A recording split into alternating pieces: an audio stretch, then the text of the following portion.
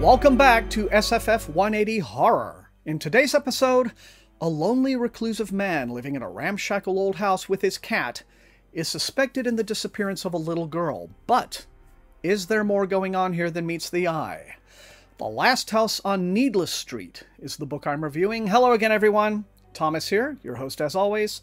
Thank you for joining me. Fair warning, there are going to be a few spoilers in this review. Sometimes it's a thing I can't avoid, especially if I'm being very critical, but you will receive an on-screen prompt letting you know when to mute your audio to avoid anything too revealing.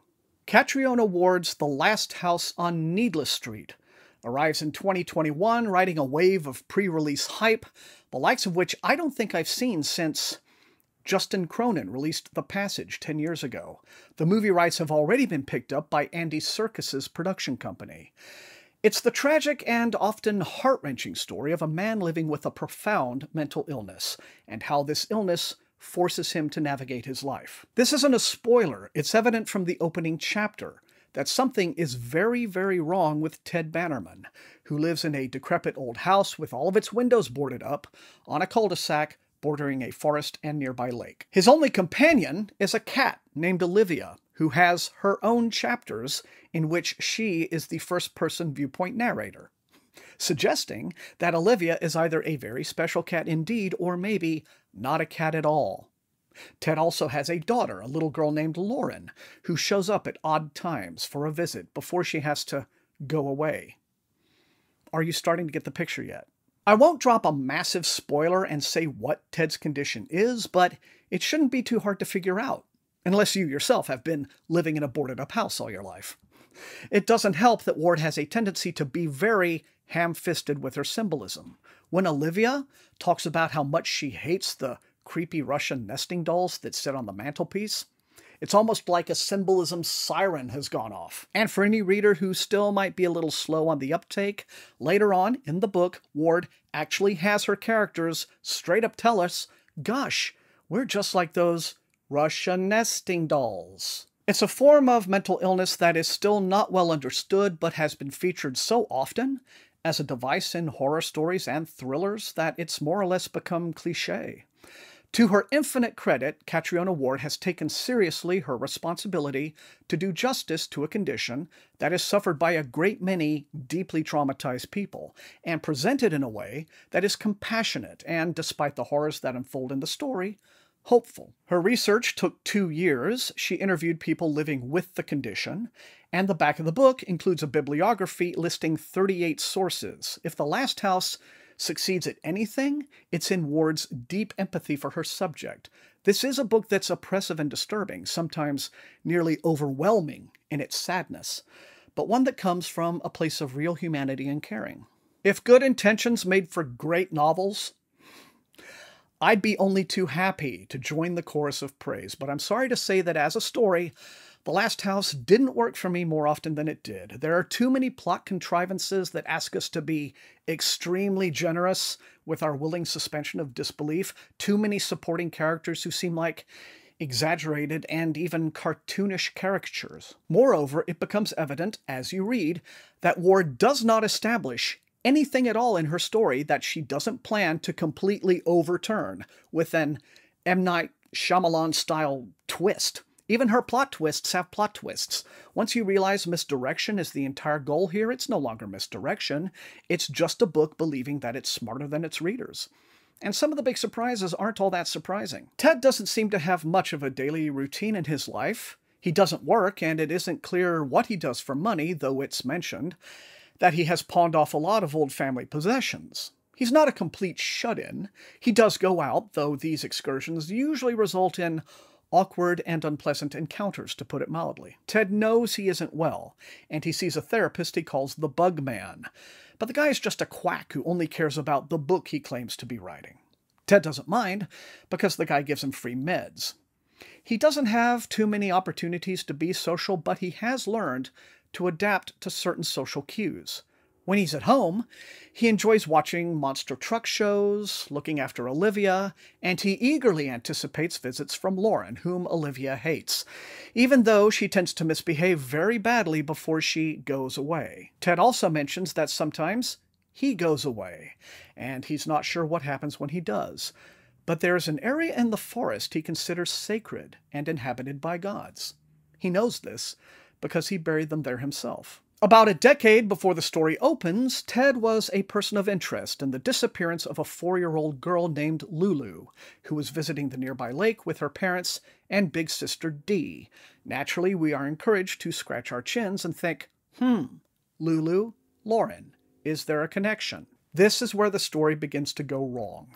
Lulu's guilt ridden older sister Dee has been on a mission to find the little girl's killer. Frustrated with the lack of results from the police, she has zeroed in on Ted as the prime suspect. Now, at this point, Ward asks us to believe a chain of events that are frankly incredible. Okay, ask yourself if you, as a young woman all alone, were convinced that a specific man was responsible for the abduction and murder of your sibling, would you move into the house next door to him?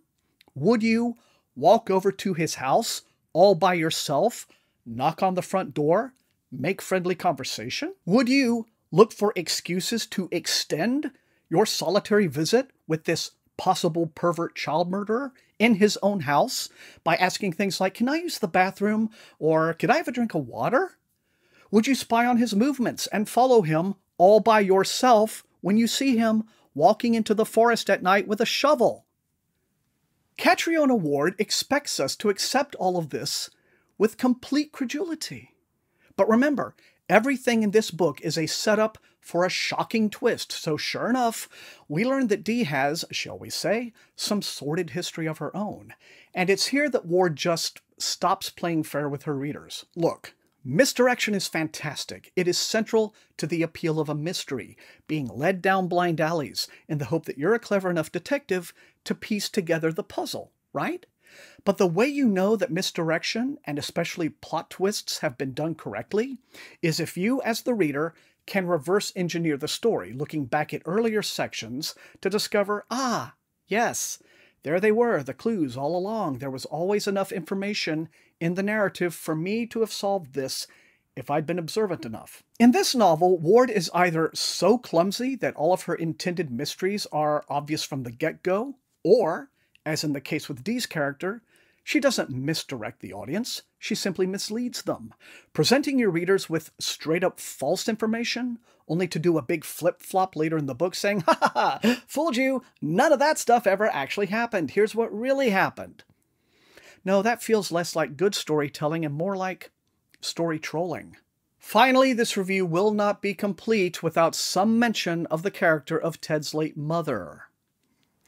Mothers, either of the abusive or excessively smothering variety, who have left their adult children with a boatload of devastating mental health problems, have become one of horror fiction's most recycled tropes. Now, they can all, no doubt, be traced back to the real life mother of the notorious serial killer Ed Gein, a woman who created such a toxic hellhole of a home life that it would have been a miracle for her son not to have grown up to become the inspiration for Norman Bates and Leatherface. But I think Ward could have given poor Ted a mother who fit that trope if that's the trope she really needed to utilize, without going overboard into making the woman into some kind of resident evil villain performing devilish medical experiments on missing children. Honestly, by the time the story reaches these revelations, we're so far away from relatable reality that it's practically parody. I can understand why so many readers are praising this book to the skies. If you read it for its mood, for its sense of dread, if you enjoy being surprised and you don't care to think too closely about the choices the writer is making and why they're making them, then yes, The Last House on Needless Street is a novel that can have a profound emotional impact. The very subject matter of parental abuse and the destructive traumas that children of abusers carry into adulthood is alone enough to be triggering to a great many readers. And read at a superficial level, this novel brings us to the brink of despair and back to the promise of hope quite effectively. I just don't think that such emotional impact requires abandoning good storytelling logic and realistic characters. This house may look good on the outside, but inside, it's a real fixer upper. And there you have it. That's all I have time for in this episode of SFF 180. Remember the most important thing these are reviews, You're not always going to agree with me, but if you enjoyed watching, please hit that like button, share the video far and wide with all of your SFF and horror reading friends, and above all, please subscribe. If you have not done so, that is how the channel grows. You can also support the channel at my TeePublic store and at my Patreon, where recruits into Wink's Army get little perks like early access on some of my videos. I want to thank all of those lovely people for their additional support. Got a new guy this week. Welcome. I used the Patreon money to pay Matt Olson, my extremely talented thumbnail artist, for all of the lovely thumbnails that he does to enhance my channel. So thanks again for that extra help. I want to thank all the rest of you guys for being the very best viewers on all of BookTube, and until I see all of you next time, stay safe, stay healthy, and spooky reading.